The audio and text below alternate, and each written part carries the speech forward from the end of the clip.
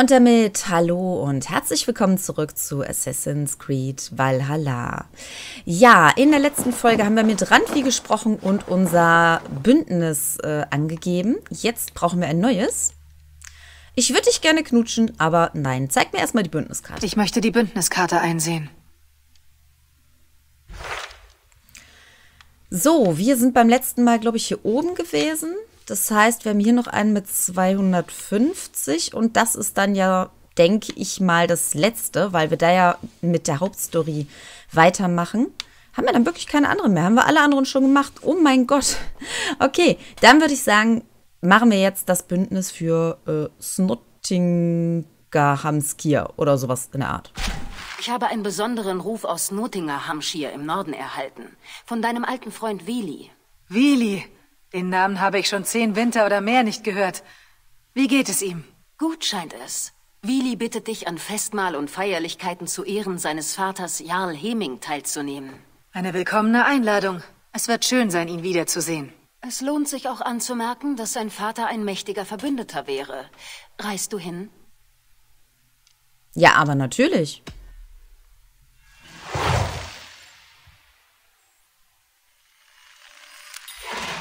Ich werde heute nach Snottingerhamshire aufbrechen. Schön. Sie werden sich freuen. Nö. Jeder freut sich, mich zu sehen, das ist doch klar. Ja, dann würde ich sagen, wir machen uns jetzt mal auf den Weg dorthin und sehen uns dann gleich am Zielort wieder. Bis gleich.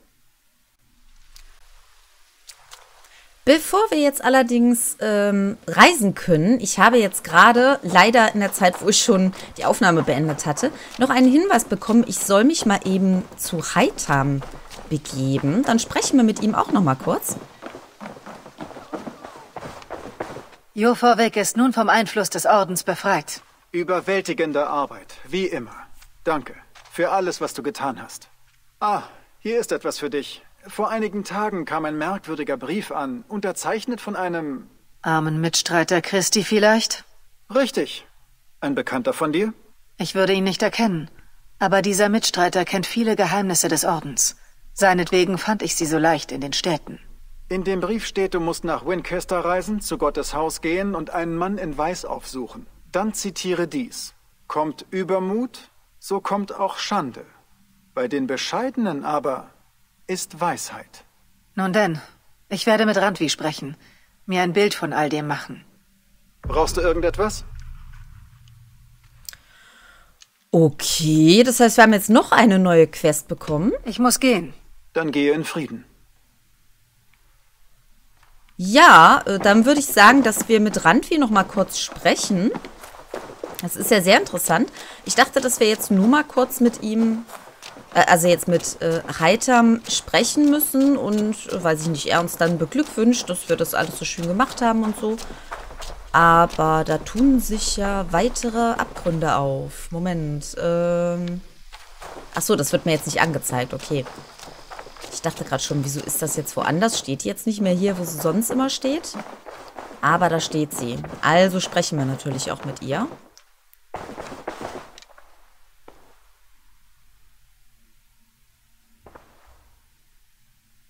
Oder auch nicht. Ich Moment. möchte die Bündniskarte einsehen. Ist das denn vielleicht auf der Bündniskarte zu finden? Ach, das ist jetzt hier auf der Bündniskarte drauf. Ah, ja, das ist ja cool. Ja, dann können wir aber definitiv erstmal das machen, was wir jetzt äh, vorhatten und dann schließen wir das direkt hinterher an. Ich habe es mir anders überlegt. Genau, also irgendwie nicht so richtig, aber egal. Wir gehen jetzt erstmal. Ich sollte so. gehen. So, ja, dann bleibt es beim üblichen Plan. Dann reisen wir zu dem äh, unaussprechlichen Land und sehen uns dann gleich wieder.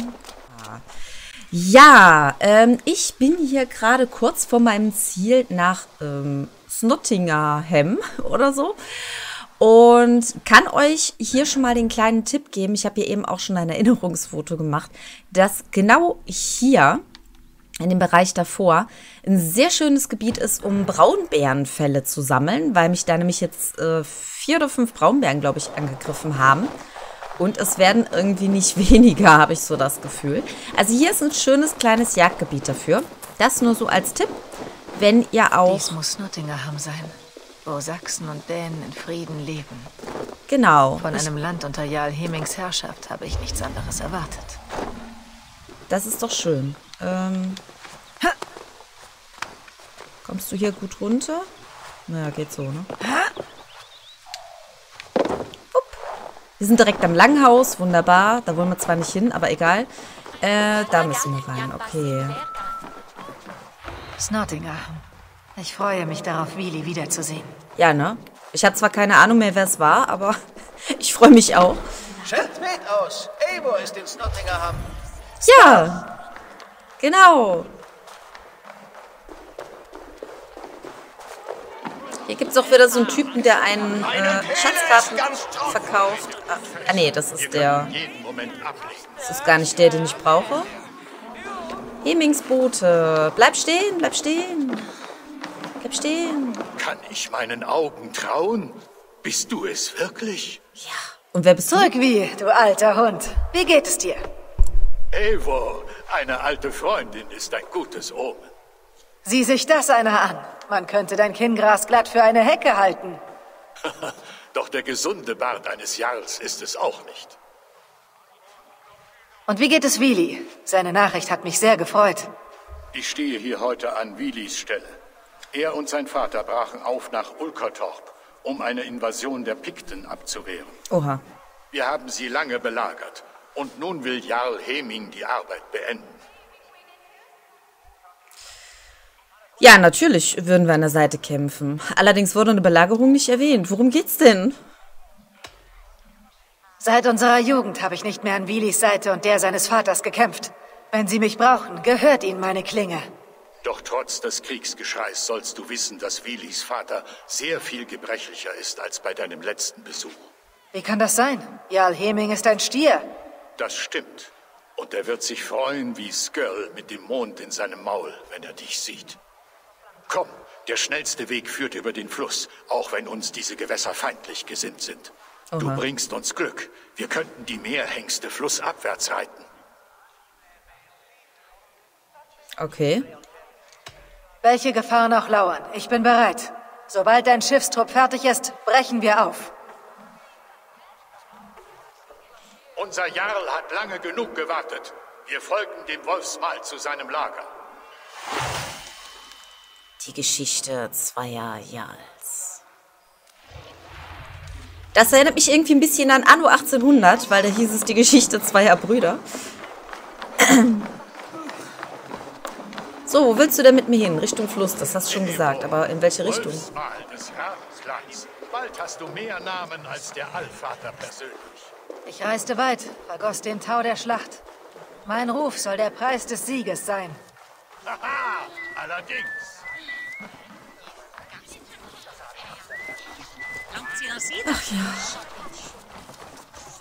Die ist mir so ähnlich. Nur, dass ich nicht nach Ruhm, Sieg und Ehre äh, strebe. Äh, neues Schnellreiseziel, sehr schön. So, was heißt denn für dich flussabwärts? Weil er hat irgendwas von Hengsten gesprochen. Will er jetzt mit dem Schiff oder will er jetzt, wie will er jetzt hier? Macht die Seeungeheuer bereit. Eivor Wolfsmal ist hier, uns den Fluss hinauf zu eskortieren. Genau. Und nu? Und nu stehen wir hier, schauen uns das schöne Gewässer an. Soll ich ein bisschen angeln, bis ihr mal in die Gänge kommt? Oder, äh... Könnte ich eigentlich machen, weil hier vorne, also ich werde es nicht machen, keine Sorge. Aber, ähm, zack, hier vorne muss ich mal eben ganz Auf dem Weg schnell... könnten Gefahren lauern. Ich gehe vor und sorge dafür, dass wir nicht überrascht werden. Ach so, ich soll vorgehen. Ja, sag mir das doch einer. Ich wollte mir nur hier eben ein Erinnerungsfoto machen, weil wie gesagt, normalerweise stehen ja immer Angler an diesen Stellen. Und da, wo diese Fische sind, normalerweise mit Angler, ähm, kann man immer sehr gute Sachen angeln. Und wo soll ich denn da hin? Moment, die Krieger so. Ach so, die soll ich jetzt doch nicht mit dem Schiff begleiten. Okay, also doch, wie er es vorhin gesagt hat, mit dem mit dem Pferd quasi. Per Ross, hat er gesagt. Wo sollen wir denn hin? Weiß ich immer noch nicht. Ich soll dir wahrscheinlich folgen, oder? Ich habe doch keine Ahnung, wohin es geht. Reit doch mal vor, alter Mann. Ja, los. Ich Reite erinnere vor. mich, wie du viele legendäre Geschichten am Herdfeuer spannst, als Willi und ich noch klein waren. Aber ich meine, du erzähltest uns nie, wie du dich Jarl Heming verpflichtet hast. so Ist das eine gute Geschichte? Oh ja, aber sie ist traurig. Ich schätze, ich war im selben Alter wie du heute. Skadi hatte uns einen harten Winter geschickt und ein Großteil unseres Clans hungerte. Um uns zu Wow. ernähren, lud meine Familie Geht es eine noch? große Arbeitsschuld Lass mich hier durch. Aber ob meiner Jugend war ich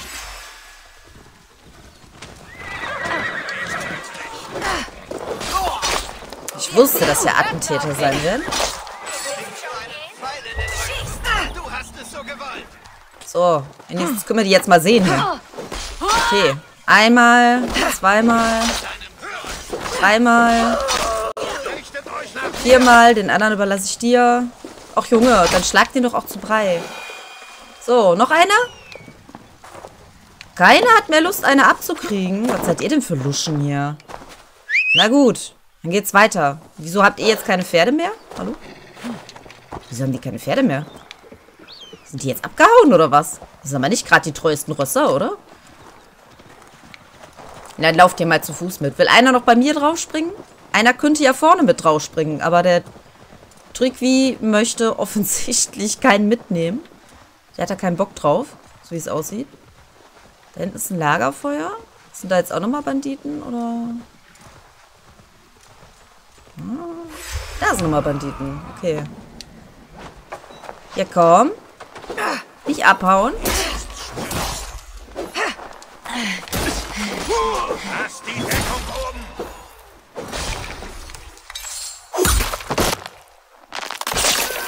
Ja, ich würde sagen, der ist mal skalpiert worden, ne?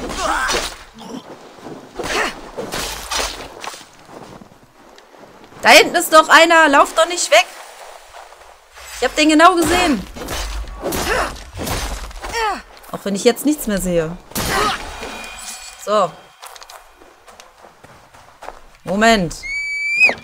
Ich habe zwar irgendwie das Gefühl, dass äh, zu Fuß gehen vielleicht jetzt einfacher wäre, als diese ständige ähm, Auf- und Absteigen, aber naja. Lauft mir jetzt nicht vor meine Pfoten, wollte ich gerade sagen. Das sind aber gar nicht meine Pfoten. Das sind die Pfoten meines Wölfes. Meiner süßen Wölfin.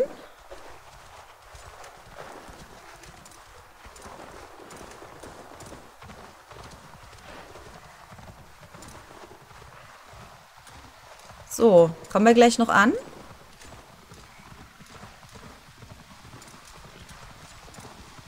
Wie lange dauert das jetzt noch? Wohin müssen wir?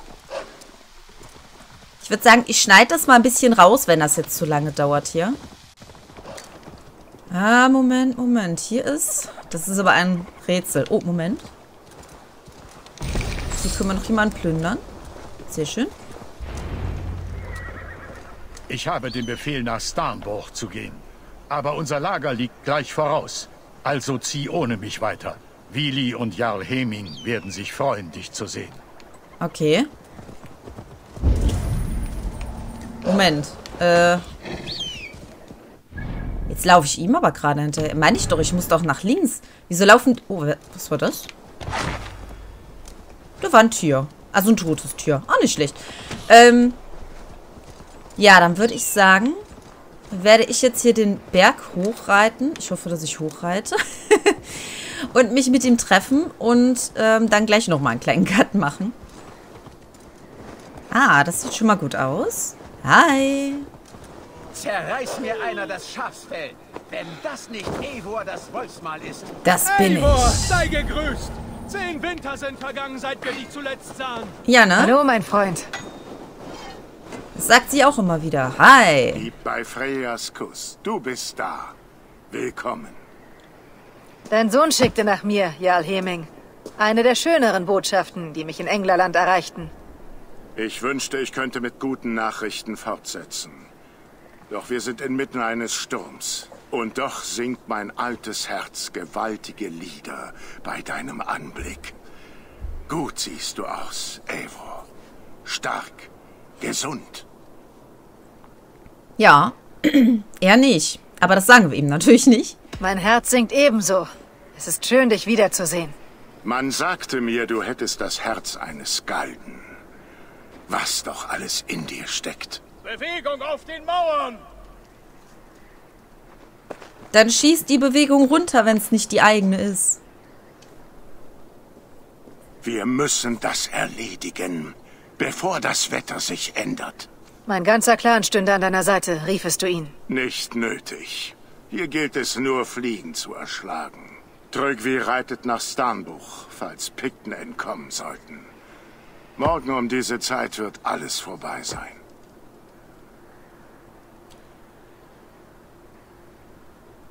Da bin ich mal gespannt. Ihr kennt mich ein Zeitalter lang als euren Jarl. Und ich kenne und liebe euch alle, seit ihr kleine Kinder wart. Ihr macht mir die Bürde leichter. Hoffen wir mal, dass du besser kämpfst, als du alterst, Dränger. Du lallst ja gar nicht, Willi. Hast du dein Ale verlegt? Heute kämpft ihr nicht für mich. Nicht füreinander. Heute kämpft ihr für eure Kinder. Kämpft, damit sie aufwachsen und gut und gerecht sein können, wie ihr es seid. Heute, für sie, holen wir Ulkertorp zurück. Trückvi und Eivor haben uns Pfeile und Öl gebracht, um die Fallen der Pikten in Brand zu stecken. Na, endlich.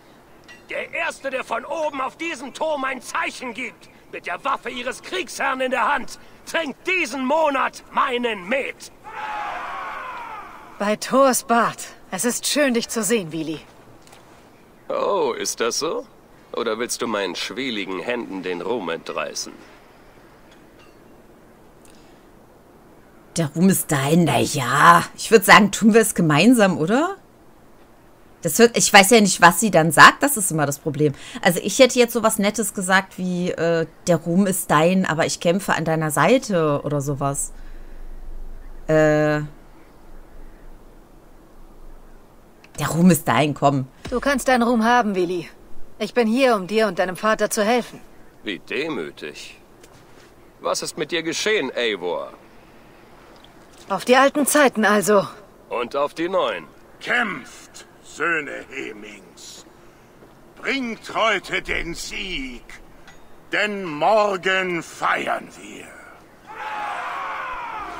Entzündet die Pfeile. Mögen sie mit ungezähmter Flamme brennen. Der Anführer der Pikten. So, finde den Anführer der Pikten. Ja, wo lauft ihr denn jetzt alle hin? Ich weiß ja gar nicht mal so genau. Also ich muss jetzt hier rüber, ja? Wenn ich das, ach so, das sind schon die ersten Gegner. Okay.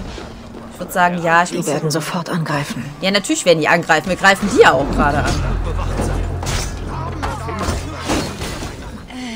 Ich hol mir seinen Kopf für Jarl Heming. Ja, machen wir. Ich habe zwar keine Ahnung, wo der ist. Oh, scheiße. Sollt ihr vielleicht nicht so alleine reinrennen? Äh, Der Anführer wird den Turm verteidigen. nein, nein, nein, nicht da rein, nicht da rein. Geh weiter. Oh, Moment. Da war ein, da war ein, ein, ein Kampfwolf. Moment. Ja, komm, weich aus. Geh weg, spring, weich aus. Ach, warum weicht die blöde Kuh auch nicht einmal aus? Du sollst ausweichen. Ist das denn so schwer? Anscheinend ja. Der Typ geht mir auf den Sack hier. Echt.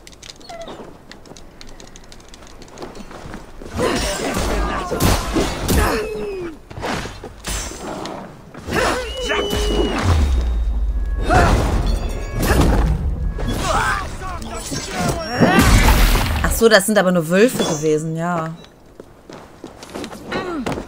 Äh, die weicht aus und trotzdem... Was ist das denn? Hallo.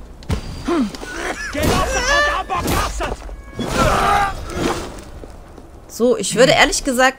Rabe ist nicht verfügbar. Ich würde aber gerne mal wissen, wo der eigentlich hin ist. Der Anführer. Wo denn? Da oben. Ach so. Wie komme ich da hin? Wo ist er?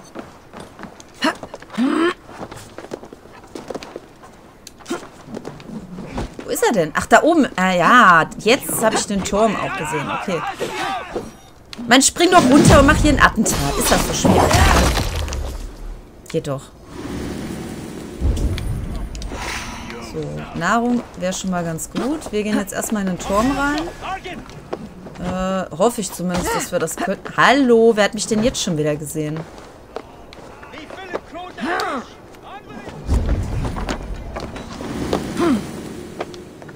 Okay, der ist aber im... Nee.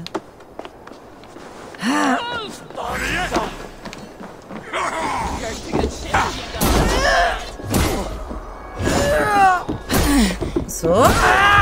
Geht doch. Ja. War doch gar nicht so schwer. Und ich krieg das mit. Den mit. Wie auch immer. Ich darf mich besaufen. Das ist das Geilste daran. du bist verletzt. Nein, nein, hör auf. Mir geht es gut. Das ist mehr Blut als Verletzung. Mhm. Stolz kann dich nicht heilen, Heming. Du brauchst Pflege und Verbände. Mein Clan kämpfte gut, nicht wahr? Du sahst es. Das Herz dieser Leute, wie sie sich hinter ihrem Jarl versammelten. Du hast diese Wirkung auf die Menschen. Sie vertrauen dir.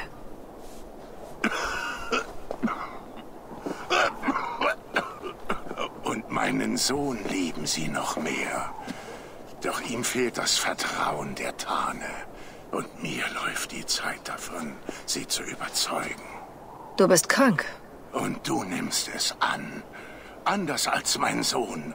Er glaubt, ich wäre unsterblich, weil er das muss. Er will nicht, was ich ihm zu geben habe. Hm. War es Willi, der mich rief? Oder warst du es, Heming? Ich hoffte, dass du schneller kommst, wenn du Willis Namen zuerst hörst. Ich brauche deine Weisheit, Eivor. Deine Verschwiegenheit. Die hast du. Natürlich. Es wird bald ein Ting geben, in dem die Edelinge einen neuen Jahr bestimmen. Und ich bin mir unsicher. Ich wünschte, dass mir mein Sohn nachfolgt. Doch er zögert. Er folgt seinem Kriegerherzen. Andere werden Teugwi benennen. Ein guter Mann mit dem Geist eines Anführers. Doch sein Stammbaum ist fragwürdig. Und er ist weniger kühn. Scheiße auf den, äh, auf den Stammbaum. Und ganz ehrlich, pff. Also ja, ihm, ihm steht die Jalehre zu, okay, aber wenn er das nicht möchte, warum sollte er das machen? Und er hat ja selber gesagt, dass dieser Trück wie ein guter Anführer halt wäre. Also, sagen wir es mal so, ich, ich mag es generell nicht, wenn Leute irgendwo in irgendwelche Fußstapfen immer wieder reingedrückt werden, die sie eigentlich gar nicht möchten. Das hatten wir jetzt schon ein paar Mal während der Geschichte. Und ähm, ja, ich, ich kenne den Typen jetzt nicht. Also äh, gut, wir haben, glaube ich, vorhin mit ihm gesprochen. Ich bin mir gerade nicht sicher. Aber ich denke, der wird ein guter Anführer sein. Scheiß auf den Stammbaum, ich meine. Trygvi ist weise und er hat den scharfen Verstand eines Anführers. Beim Ting würde niemand seine Nachfolge anzweifeln, würde man ihn benennen.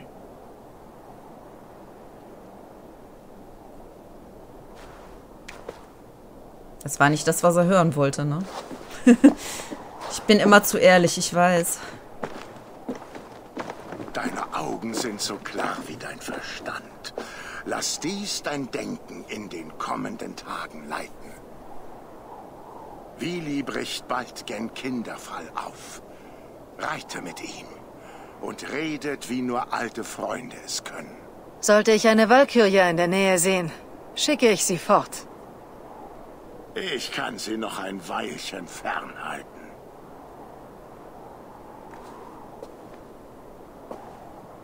Ich habe jetzt eine in meinem Dorf stehen. Also, wenn auch nur als Statue. Ja.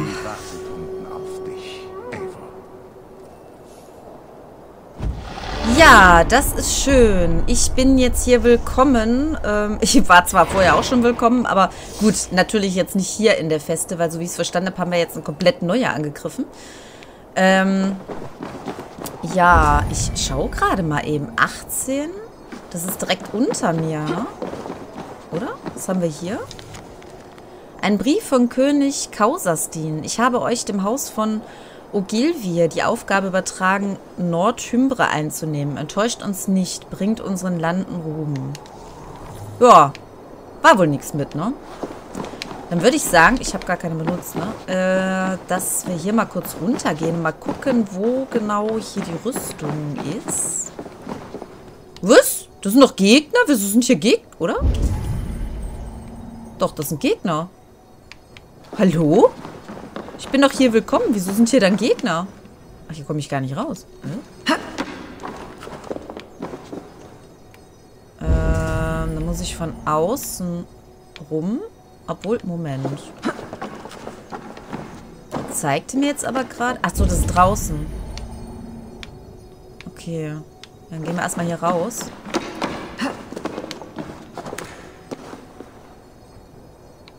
Das könnte ich theoretisch auch runterfallen lassen, aber das sind ja jetzt keine, keine Gegner mehr, ne? Deswegen...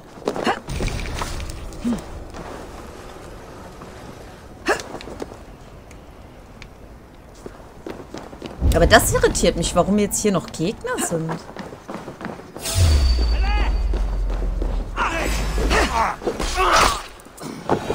Die Feste ist doch gerade eingenommen, Jungs. Habt ihr das nicht mitgekriegt, oder was? So, nee, das sind... Äh, ich ich höre es wieder rauschen und rascheln und... Das ist jetzt wieder über mir. Achso, da müssen wir rein. Moment, plündern? Nein. Achso, doch, können wir auch. Ähm... Da ist ein Fenster, da könnten wir ja theoretisch rein.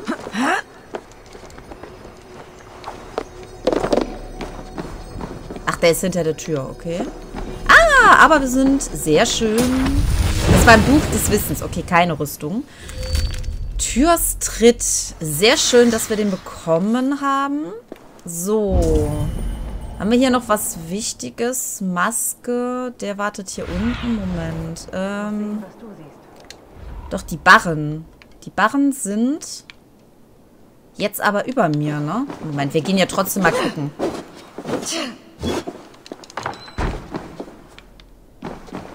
Der Typ ist unten, das ist soweit klar.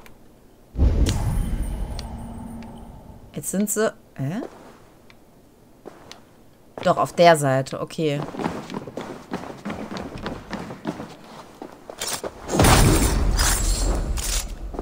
Ja, Junge. Ich würde sagen, hast du zur falschen Seite geguckt, ne?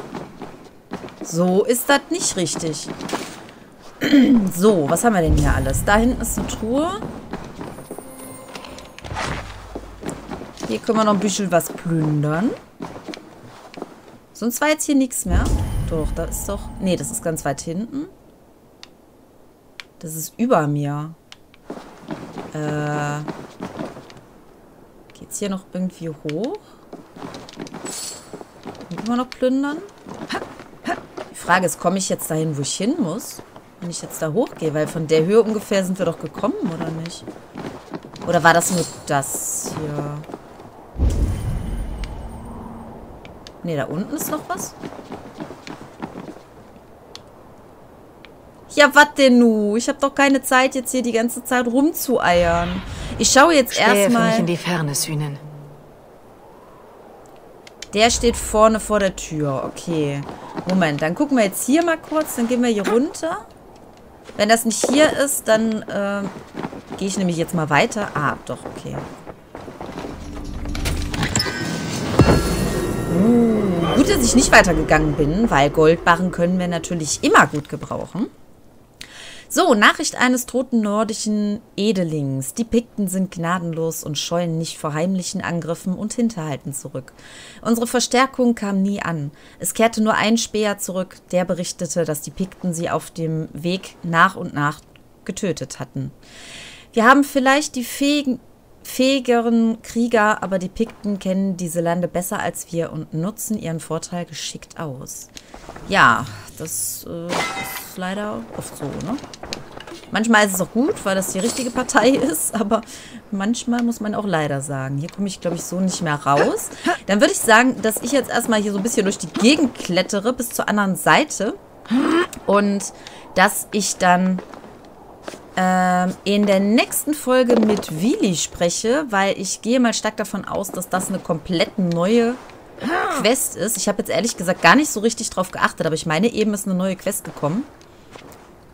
Ja, okay. Ich dachte schon nicht, dass die jetzt hier irgendwie oh, noch runterschlittert oder so. Ja, ich würde sagen, dass wir dann in der nächsten Folge weitermachen und den Teil mit Willi durchführen.